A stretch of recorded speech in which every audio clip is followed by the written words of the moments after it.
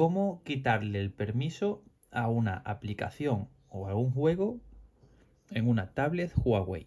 Si queremos quitarle el permiso que le hemos dado a alguna aplicación, como que acceda a nuestra cámara o a nuestro contacto, lo que tenemos que hacer es entrar en ajustes y luego tenemos que ir a aplicaciones y notificaciones.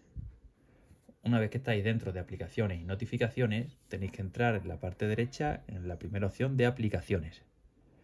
Ahora buscáis la aplicación o el juego al que le queréis quitar el permiso. Yo tengo uno activado para haceros la prueba, que es este.